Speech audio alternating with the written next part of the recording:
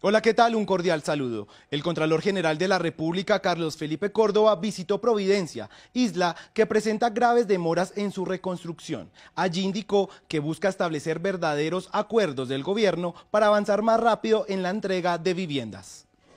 Buenas, muchachos.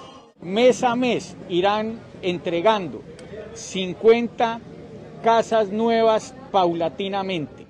Además, el Contralor solicitó información de las personas afectadas que están viviendo en carpas.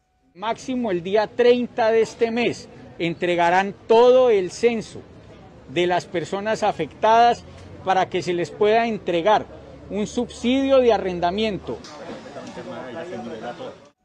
La Contraloría General de la República indicó que continuará realizando el seguimiento a los recursos para la reconstrucción del archipiélago, que ascienden a más de 340 mil millones de pesos. Desde Bogotá informó Edgar Ramírez.